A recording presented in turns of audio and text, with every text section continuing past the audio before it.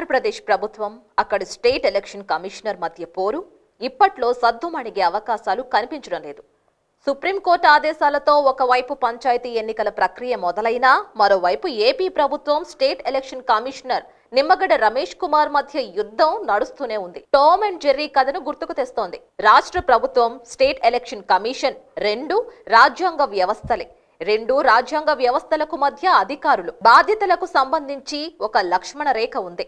ఇటు రాష్ట్ర ప్రభుత్వ అధినేత జగన్మోహన్ రెడ్డి కానీ అటు ఎలక్షన్ కమిషనర్ నిమ్మగడ్డ రమేష్ కుమార్ కానీ ఈ లక్ష్మణ రేఖ దాటకూడదు. ఎవరి పరిమితుల్లో వారుండాలి?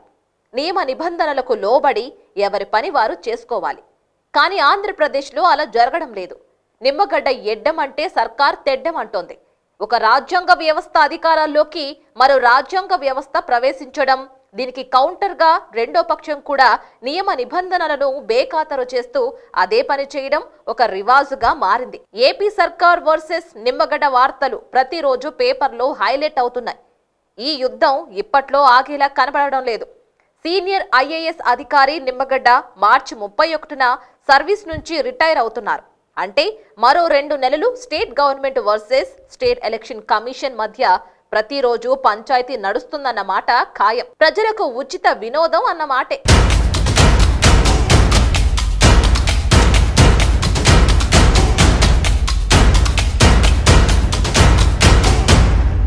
ఉమ్మడి ఆంధ్రప్రదేశ్లో గతంలో ఎన్నడూ ఇలాంటి పరిస్థితి లేదు. రాష్ట్ర ప్రభుత్వం ఎన్నికల సంఘం వాతావరణాన్ని రచ్చ రచ్చ చేయడం తొలిసారి ఆంధ్రప్రదేశ్ ప్రజలు చూస్తున్నారు. సహజంగా ఎన్నికల కమిషనర్లు ఎవరు వార్తల్లో ఉండరు. ఎన్నికలు జరిగే టైంలోనే వాళ్ళ హడావిడి కనిపిస్తుంది. ఒక్కసారి ఎన్నికలు పూర్తయితే కమిషనర్గా పనిచేసింది ఎవరో కూడా జనం మర్చిపోతారు.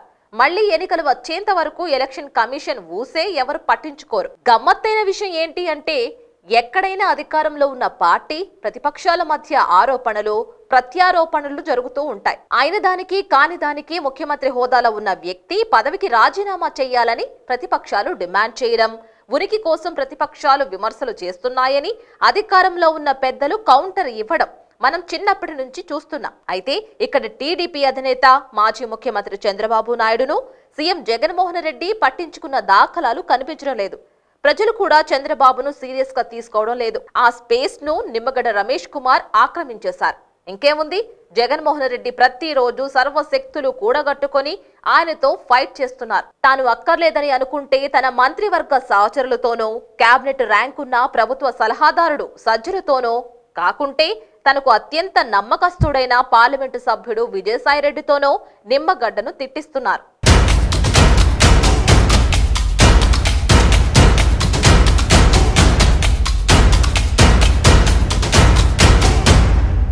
రాష్ట్ర ప్రభుత్వం నిమ్మగడ్డ మధ్య ఐఏఎస్ అధికారులు నలిగిపోతున్నట్లు అమరావతి రాజకీయ వర్గాలు భావిస్తున్నాయి. ఫలానా అధికారి గతంలో నా ఆర్డర్స్ను పట్టించుకోలేదు అతడిని బదిలీ చెయ్యండని నిమ్మగడ్డ ఆదేశిస్తే సదరు అధికారిని మరింత కీలకమైన పోస్టులో కూర్చోపెట్టి ట్విస్ట్ ఇస్తోంది జగన్ సర్కార్. నా అధికారులపై నిమ్మగడ్డ పెత్తనం ఏంటి అని జగన్మోహన్ రెడ్డి ఈగో ఫీల్ అవుతున్నట్లు రాజకీయ పరిశీలకులు అంటున్నారు. అయితే ఇక్కడ నిమ్మగడ్డ వర్షన్ భిన్నంగా ఉంటుంది. ఒకసారి ఎన్నికల ప్రక్రియ మొదలైతే అధికారులంతా నా కంట్రోల్లోనే పనిచేయాలి.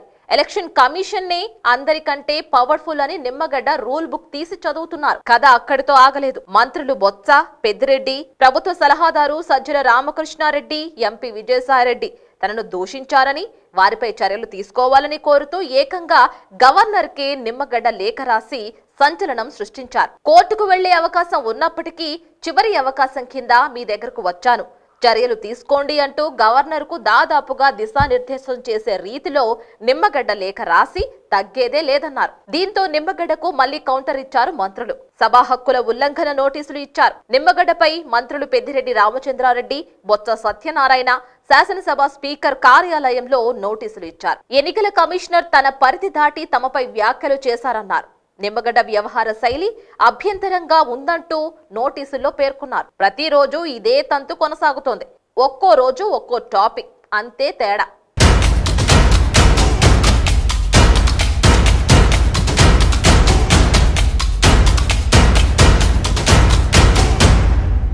నిమ్మగడ్డ రమేష్ కుమార్ మార్చి నెలాఖరు వరకు ఎన్నికల కమిషనర్ పదవిలో ఉంటారు.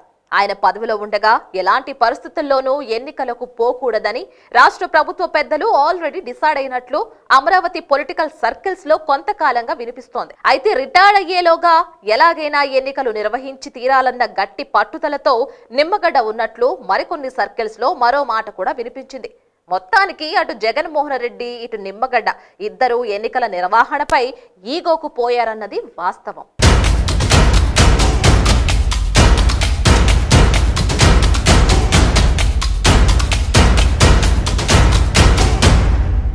చంద్రబాబు నాయుడు నిమ్మగడ్డ రమేష్ కుమార్ ఒకే సామాజిక వర్గానికి చెందినవారు.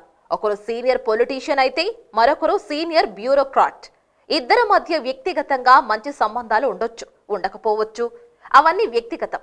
అంత మాత్రాన నిమ్మగడ్డకు కులం రంగు పులమడం ఎంతవరకు కరెక్టో ఏపీ ప్రభుత్వ పెద్దలు ఆలోచించుకోవాలి. ఆరోపణలు చేసిన నిర్దిష్టంగా ఉండాలే కాని నిమ్మగడ్డ ఫలానా వారి మనిషి అందుకే వారి ప్రయోజనాల కోసం తాపత్రయపడుతున్నారని లేనిపోని ఆరోపణలు చేయడం ఎంతవరకు సమంజసమో ఆత్మ పరిశీలన చేసుకోవాలి.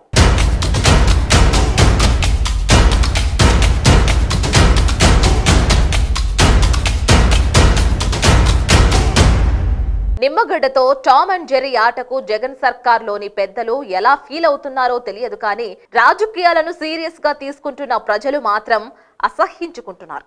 ఇక్కడ ఎవరిది తప్పు ఎవరిది ఒప్పు అని ఎవరు తీర్పు చెప్పబోవడం లేదు. రాష్ట్ర ప్రభుత్వం నిమ్మగడ్డ రెండు వ్యవస్థలు సమన్వయంతో వ్యవహరించాలి. దీనికి ప్రభుత్వమే ముందుగా చొరవ చూపాలి. గొడవలకు స్వస్తి పలికి ఉదారంగా వ్యవహరించాలి. నిమ్మగడ్డ కావచ్చు మరొకరు కావచ్చు. స్టేట్ ఎన్నికల కమిషనర్ వంటి రాజ్యాంగ పదవిలో ఉన్న వ్యక్తితో అనుచితంగా ప్రవర్తించడం ఆయనపై అనవసరంగా వ్యాఖ్యలు చేయడం మానుకోవాలి. ముఖ్యమంత్రి పదవికి నిమ్మగడ్డ గౌరవం ఇవ్వలేదన్న కోపం దానిని మనసులోనే పెట్టుకొని హుందాతనంతో వ్యవహరించాలి. అంతేకాని ఒక ఐఏఎస్ అధికారిపై కత్తి కట్టినట్లు వ్యవహరించడం జగన్మోహన్ రెడ్డి ప్రభుత్వానికి శోభనివ్వదు. నిమ్మగడ్డ కూడా తన వ్యవహార శైలి మార్చుకోవాలి. రెండు నెలల్లో రిటైర్డ్ అయ్యే ఐఏఎస్ అధికారి హుందాగా కుర్చీ నుంచి దిగాలే కాని ఒక రాజకీయ పార్టీకి విధేయుడుగా పనిచేశారన్న అపప్రద తెచ్చుకోవడం మంచిది కాదు. ఏమైనా రాజ్యాంగ స్ఫూర్తిని అందరూ కొనసాగించాల్సిందే. దీనికి జగన్మోహన్ రెడ్డి ప్రభుత్వమే కాదు నిమ్మగడ్డ కూడా మినహాయింపు కాదు.